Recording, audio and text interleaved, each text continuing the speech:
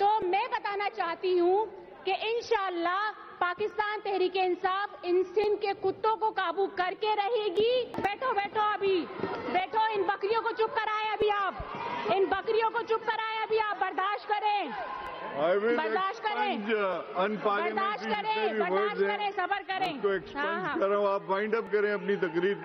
Sir अभी अभी time है मेरा। ये हमारी अभी साढ़े पाँच मिनट हुए अभी अभी इनको साहिबा कहती हैं अभी दस साल और लगेंगे कुत्तों को काबू करने में। तो तेरह साल और पहले लगे दस साल और लगेंगे कुत्तों को काबू करने में?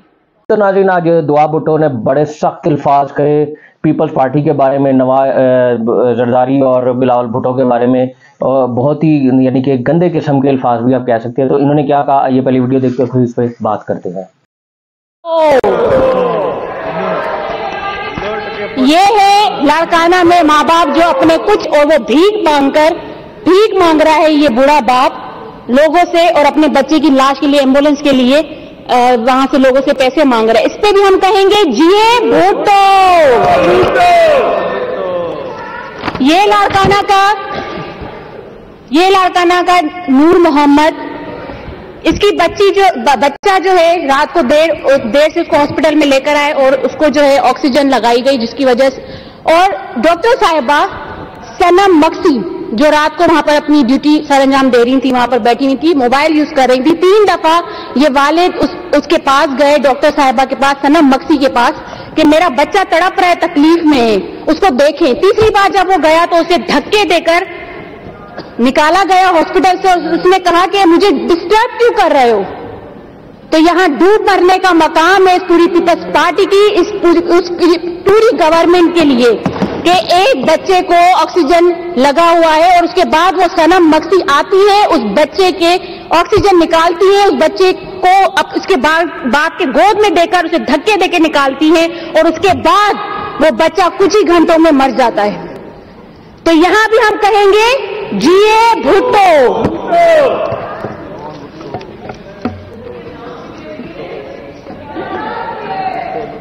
अभी सबर करो सबर करो। हौसला हौसला रखो बर्दाश्त करो। हौसला रखे हौसला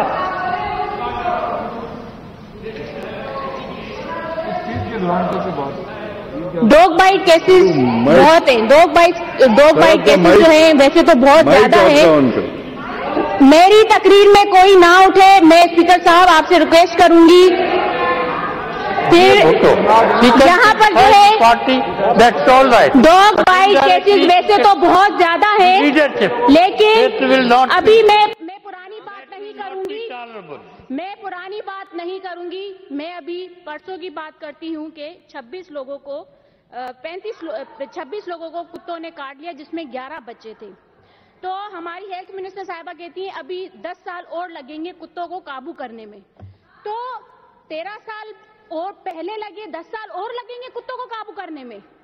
तो मैं बताना चाहती हूँ कि इंशाल्लाह पाकिस्तान तहरीक इंसाफ इन सिंध के कुत्तों को काबू करके रहेगी और कुछ ही महीनों में इनका काम तमाम कर, करके रहेगी इनशाला दस साल हेल्थ मिनिस्टर साहबा दस साल हम वेट नहीं करेंगे। इंशाल्लाह ये पाकिस्तान तहरीक इंसाफ इन कुत्तों को काबू करके इस सिंध की जान छुड़वाते रहेगी। इंशाल्लाह अरे बैठो बैठो बैठो अभी। बैठो, इन बकरियों को चुप कराए अभी आप। इन बकरियों को चुप कराए अभी आप बर्दाश्त करें। बर्दाश्त करें। बर्दाश्त करें बर्दाश्त करें सबर करें। उसको हाँ हाँ। कर आप वाइंड अप करें अपनी तकरीर। सर अभी अभी टाइम है मेरा। ये हमारी अभी साढ़े पाँच मिनट हुए अभी अभी इनको बोलो दस मिनट fixed है सबके लिए, लाड़काना तो में लाड़काना में ये दस मिनट में खत्म करें। ये माँ भैंस के साथ लेटी हुई है जख्मी थी। इसको एंबुलेंस नहीं दी गई और ये जो है भैंस के साथ ले जाई जा रही है हॉस्पिटल इन बकरियों को चुप कराएँ अपनी तकरीर में जवाब दें। ये थर के बच्चे हमारे जो भूख से आज भी मर रहे हैं और इन इन पक्के के डाकुओं के खाने देखिए आप, लाखों करोड़ों रुपए जो है, वो सिर्फ़ एक एक वक्त के इनके कुत्ते जो है खाते हैं वो, खाने। तो ये हमारे घर के बच्चे जो भूख से मर रहे हैं। अरे चुप करो अभी, आई बड़ी। ये कारकर्दगी इनकी न्यूयॉर्क टाइम में जो एड्स हेपेटाइटिस टॉप पे जो है ये पहुँची हुई है एच तो ये इनकी कारकर्दगियाँ हैं और एक खास बात जो